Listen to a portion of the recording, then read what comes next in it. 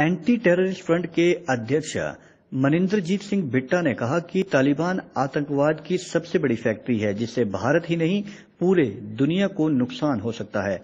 बिट्टा ने कहा कि तालिबान ने अमेरिका पर हमला किया था। यूनाइटेड नेशन को बैठक कर तालिबान पर पाबंदी लगाने पर विचार करना चाहिए, अन्यथा वे मानव अधिकारों का नुकसान पहुँचा सकते हैं। देखो, तालिबान से हमें हमें नहीं पूरी दुनिया को तालिबान से नुकसान है। हिंदुस्तान नहीं। तालिबान आतंकवाद की बहुत बड़ी फैक्ट्री है। आपको 11 सितंबर की घटना याद होगी, अमेरिका में हमला किया था उन्होंने। तो पूरी दुनिया को खतरा है, पूरी दुनिया के अंदर यूनाइटेड नेशन मिल करके बैठक करे कि इसके ऊपर पाबंदी लगाई जाए, वहाँ मानव अधिकारियों का बहुत बड़ा नुकसान हो रहा है। बिट्टा ने कहा कि पंजाब में राजनीतिक गलतियों की वजह से छत्तीस हज़ार बेगुनाहों का खून बहा है। सत्ता और कुर्सी की भूख ने पंजाब को बर्बाद कर दिया है। हम सब की गलतियों से पंजाब बर्बाद हुआ है, लेकिन कोई भी सबक नहीं लिया जा रहा है। उन्होंने कहा कि राजनीतिक लोग ही पंजाब को नोच रहे हैं। पर एक बात ज़रूर कहना चाहूँगा। इन सब नेताओं को, कोई भी गुट हो, क्या छत्तीस हज़ार बेगुनाहों का जो खून हुआ, हमारी राजनीतिक गलतियों से पंजाब में खून की नदियाँ बह गई, बहनों के सुहाग उजड़ गए। घर घर में गोलियाँ चली। सनाटा था पंजाब के अंदर। क्या आपने उससे कोई सबक नहीं सीखा है? ये कल की बातें हैं। हमारी गलतियों से हुआ पंजाब बर्बाद। हमारी गलतियों से बहनों के सुहाग उजड़े।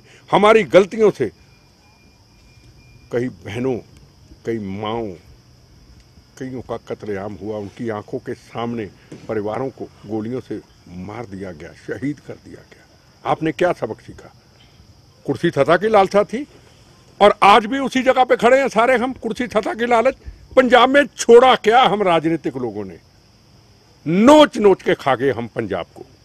कुर्सी सत्ता की भूख के कारण। हम भी तो आपके सामने हैं। एक बार चुनाव लड़ा, ज़बरदस्ती टिकट दिया।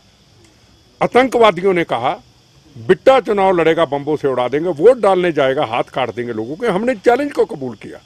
हमने अपने बहनों के सुहागों की रक्षा के लिए चुनाव लड़ा। हमने बच्चों को बचाने के लिए चुनाव लड़ा। हमने पंजाब को हिंदुस्तान से ना टूटे, पंजाब में खालिस्तान ना बने, हिंदुस्तान एक रहे, प्रथम राष्ट्र रहे, हमने चुनाव लड़ा। हमने बम खाए, हमने गोलियाँ खाई, पर हमने जो खून बहाया, कुर्बानी नहीं, कुर्बानी कहना पापा, जो हमने खून बहाया, उन खून का जिस तरीके से मूल बांटा है इन्होंने, है ना?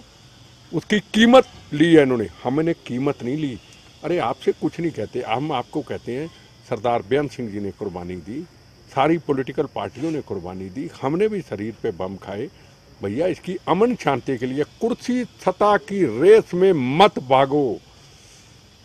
600 किलोमीटर का बॉर्डर है पंजाब। खतरनाक एरिया बन चुका है पंजाब। पहले टेररिज्म, अब नार्को टेररिज्म। उसकी सीमाओं की रक्षा है।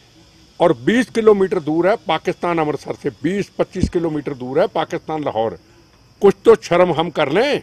ये कुर्सी सतह की भूख ने पहले भी पंजाब को बर्बाद किया और अब भी कुर्सी सतह की भूख। क्या पंजाब को फिर बर्बाद करेगी? ना मैं किसी फेवर में, ना मैं किसी के खिलाफ। मैं तो अपना अनुभव बताता हूँ।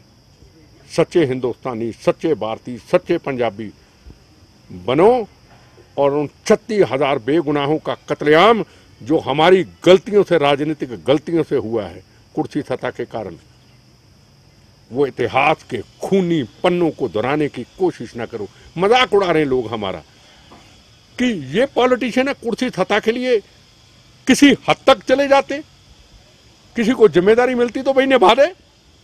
धोखा देना ही था तो पहले कह देता, मैं ज़िम्मेदारी नहीं निभा सकता। क्या मज़ाक है जी। मैं पंजाबी, मैं पंजाब के लिए लड़ूँगा। अरे, पंजाब के लिए हम कम लड़े क्या? क्या पंजाब के लिए हमने खून नहीं बहाया क्या? क्या कुर्सी सत्ता की तरफ़ गए क्या?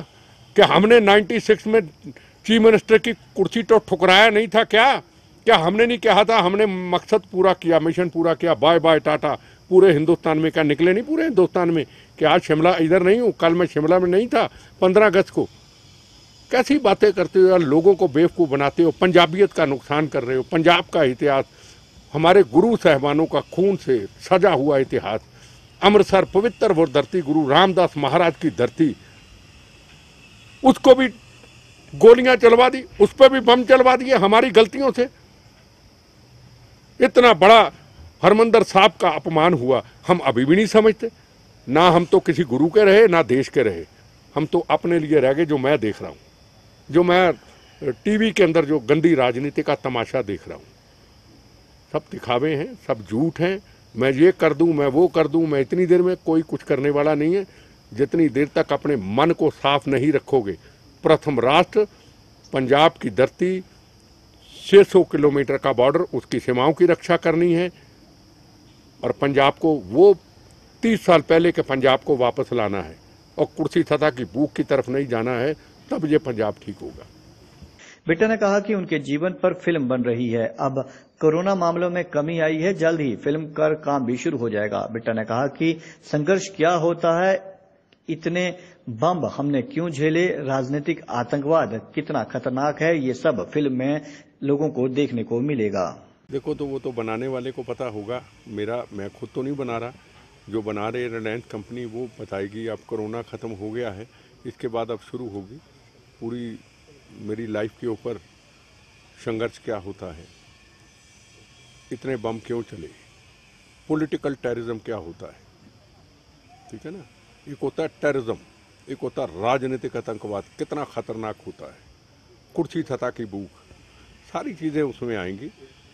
लोगों को, शहीदों का भी आएगा कार्यक्रम उसमें। लोगों को जगाने का काम होगा। कोशिश तो उनकी पूरी रहेगी बनाने वालों की।